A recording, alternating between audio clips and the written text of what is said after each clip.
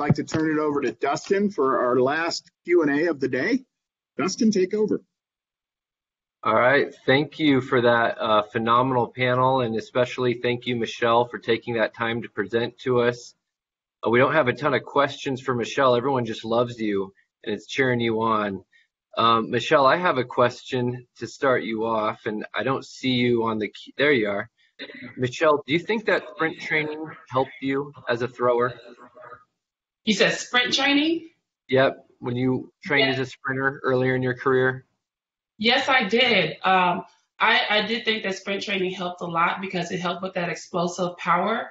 Because um, as a shot putter, I am trying to create as much power in a seven foot ring. So learning how to react like you do in the blocks, you have to react as soon as you hear the gun go off. That really helps my reaction time in the ring. So I didn't sprint as far as the sprinters did, but they had a hard time beating me for 10, 20 meters. And then Michelle, we're, we're curious, we had a good presentation today from Bahati Van Pelt with the USOPC about athlete career and education. And we're interested in knowing what your plans are. We know you've got these Tokyo games now pushed off a year. After that, what are you going to do? Well, my plans is I'm still working on my plans, but uh, I have a girls camp that I have called You Throw Girl Sports Confidence Camp and it's for young female athletes from junior high to high school where I pour into them not just as athletes but who they are as young women.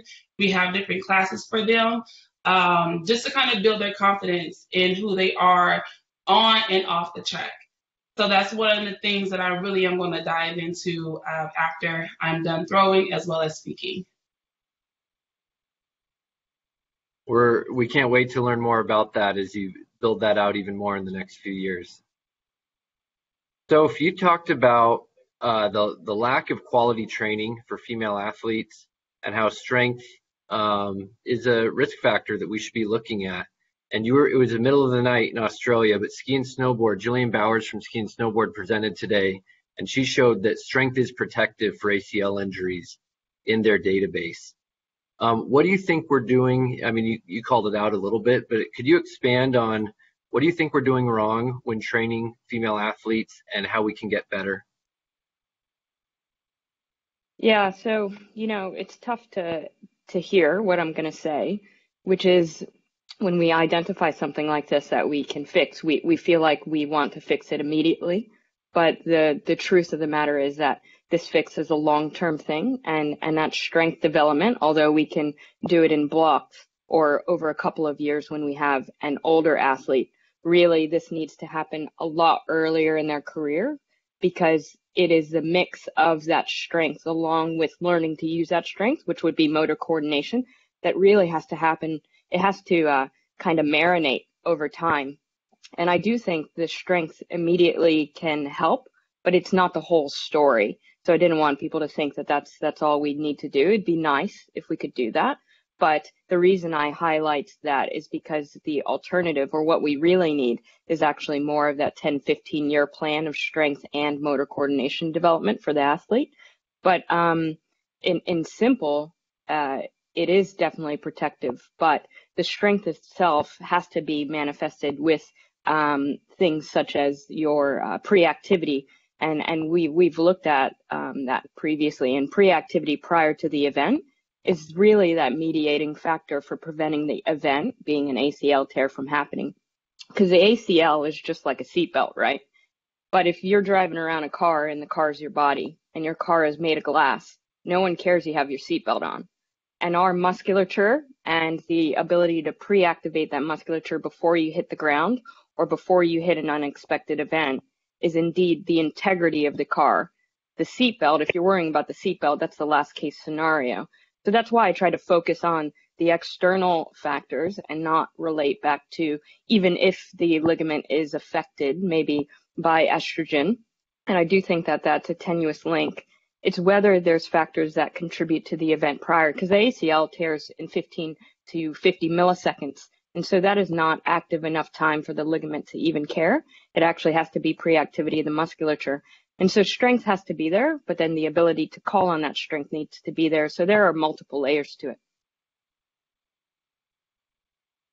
Thank you. Dr. Ackerman and Dr. Oleka, we'll let you take this one one at a time. We have a million questions around birth control. How does birth control interact with amenorrhea or oligomenorrhea? How does it affect your screening for RED-S? What should uh, athletes think about when choosing a birth control? Does it affect performance? I'm confident you guys could talk to us about this for many hours. Can you give us each your most important points on the topic? Uh, Dr. Ackerman, we'll go with you first. I love how you're going to keep us in check. Good point. Um, so there's so many things to talk about birth control. First of all, my focus with RED-S, I think it's really important to realize you can't accurately screen about menses if somebody's on the pill. Now, of course, a lot of our athletes are on a birth control pill. So if we're worried about low energy availability, we should certainly be asking them, did they get normal periods before they were on the pill? Why were they placed on the pill? Was it because they weren't getting a period? Or was it because they needed it for birth control reasons? What was their weight when they were put on the pill? And then what pill are they on? So we never want to prescribe someone a birth control pill to give them a menstrual cycle back. But we do have to work with athletes who need birth control pills for um, birth control and contraceptive reasons.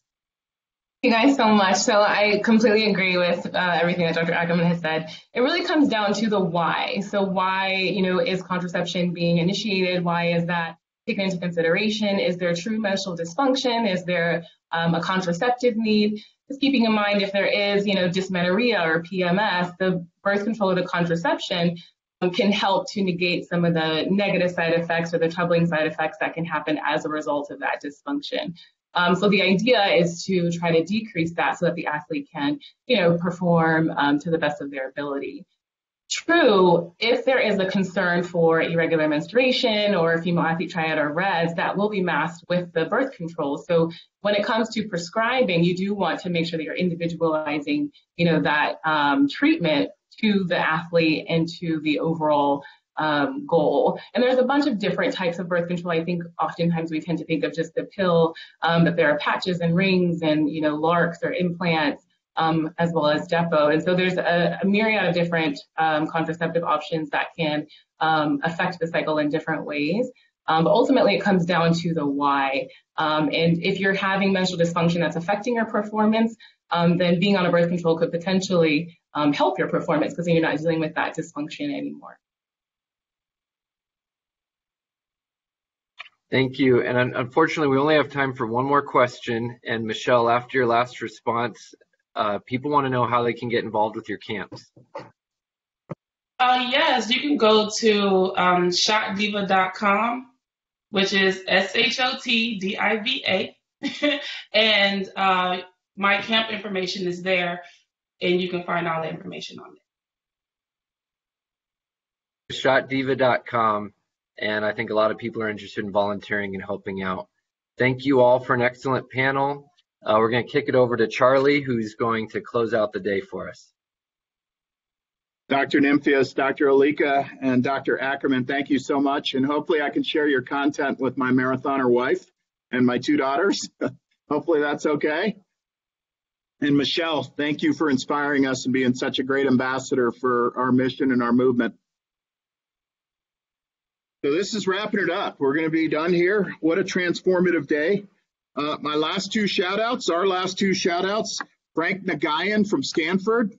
Thank you for joining us today. Please say hi to John Denny for us. And Scott Thurston from the Tampa Rays baseball team.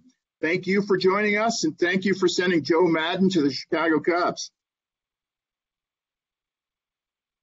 First of all, thank you to all of our presenters for your gift of time and your gift of knowledge. Thank you to the sponsors and the underwriters today that made today possible. Conduct, Proofpoint, Proofpoint Biologics, Valve Performance, the Steadman Philippon Research Institute and Clinic, and the United States Olympic and Paralympic Foundation. Thank you all for your underwriting of today's uh, virtual presentation and symposium. And then finally, 4,800 participants joined us today. They gifted us with their time and hopefully left with some incredible knowledge based on the incredible content and the unbelievable presenters. Um, we will see you in Vail next year at the fifth annual Injury Prevention Symposium, April 28th through May 1st. Registration materials will be coming out in the near future. Um, and we're looking forward to doing this again in person and celebrating the fifth anniversary. And uh, in closing, we again wanted to thank the medical providers, um, first responders, and all essential employees that are doing so much and doing so much heroic efforts in support of everybody impacted by COVID 19. Again, thank you for participating today, and everybody be safe.